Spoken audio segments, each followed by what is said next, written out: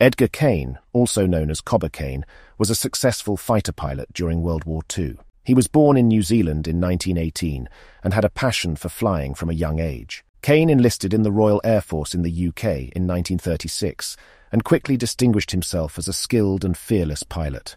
During the Battle of France, Kain shot down numerous enemy aircraft, becoming the first RAF fighter pilot of the war to receive the Distinguished Flying Cross and one of the first Allied fighter aces of the Second World War. Kain died tragically at the age of 22 when he crashed while performing a low-level aerobatic maneuver to salute his colleagues on the ground.